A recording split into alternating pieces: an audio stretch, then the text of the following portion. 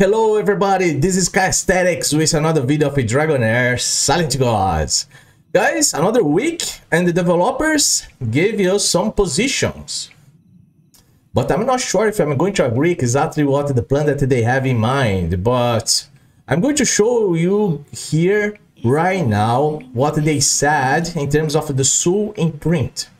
Look at this. Uh, one of the questions for part of the community, the guy asked it, I would like to know if there will be other uses for surplus soul imprints in the future because I hope to make use of my excess soul imprints after I've I've uh, I've maxed out the inspiration for my legendary heroes. Well, probably this player here is one of the whales in the, uh, that are playing the game, you know, and they this guy here differently from the the, the free to play players you know, probably he has loads of of soul prints available because he got plenty of dope legendary heroes. Okay, that's that's exactly what it, what it is, you know. But uh, the developers uh, said that they they received the, the feedback part of this player. Regarding this issue we are planning adjustments. Where soul plus soul imprints will be usable usable in exchange for some nice skins. Why are you gonna exchange soul imprints to skins? What is the point right here? Like i just i just i just would like to know this idea because seriously the skin the skins that probably they're gonna add in the game won't help you in anything. Won't help you to give extra damage or extra defense or whatever what it is. It's just like a static. Why i gonna go and, and exchange my soul my soul imprints into uh appearance into skins you know? It's no point right here right?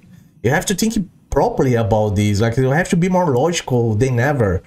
Anyway, this is my position, guys. This is one of the things, okay, that I could be able to filter in terms of the, the message. Another thing here, let's see. They said another thing here. Uh, let's go here. They said that oh, uh, they said about a new milestone, okay? Uh, probably they are going here. They are saying that you are receiving your suggestion. Currently, you are developing new milestone system. I hope that they can improve like that for sure. You know, if they're gonna improve the milestone in the game, that can be better even between staminas and give a little bit more resources for each milestones. That's going to be great. You know, I hope that they can do that. You know, because the player here, he he said that can no longer check the schedule uh, and availability of many events now that we are halfway through the season you know? So they are they said that they're going to improve this.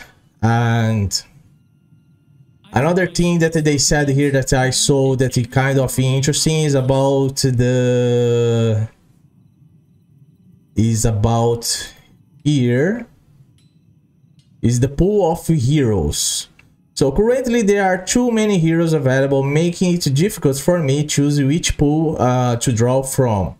Well, uh, actually this is very strategic, you know, so if they improve in a way that's possible, you, we have legendary, uh, legendary hero is going to be better.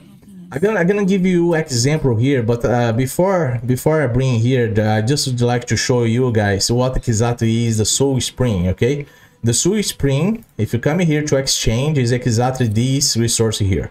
We see this Soul Spring imprint here, it's possible you get legendary artifact, okay? But I don't see that, I don't see any point to exchange for appearance, for skin or whatever what it is, you know? That's no point here, you know? Now, in terms of uh, the events, for sure that like if they bring something better, could be good. I give you an example right here. As guys can see here, if I go and I pull heroes, try to pull legendary heroes, draw this pull right here, I I have a big possibility to have a dupe hero. That's good for me because I already have a Rose, I have Cinero, I have the Daphne, I have Daphne, right? Yeah, Daphne. I have Daphne, I have the uh Zephy. So I have five heroes, even Repikas are here. So I have five heroes from this pool. So the, the there are big chance for me get a dupe of a legendary hero. That consequently you help you will help me to get a legendary artifact, right?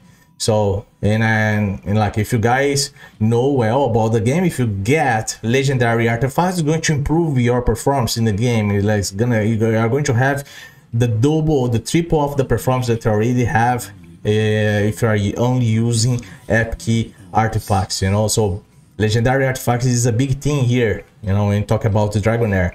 So uh, this is exactly uh, where the most inter interesting part of the of the of the news you know the position part of the developers that i thought that's more interesting there are some other things i've seen that uh, some players uh, give a position to them not release much hero between one season to another I do not agree with that actually uh, they should bring more rare heroes and epic heroes to improve more the game to give more possibilities to free to play players play well the game, you know, because when you talk about Faemander or Pill of Trials, the things get very hard right there. If you have a proper and good epic hero for that scenario is going to be good instead of you having legendary heroes okay?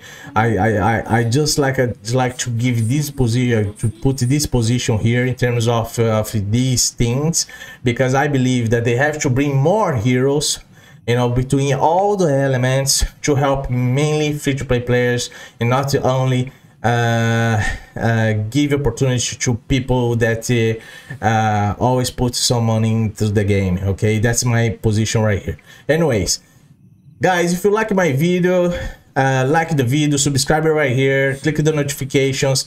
You know, thank you very much for who is supporting me. Uh, let's build all this community together. This is my brand new channel, and see you in the next video. Bye bye.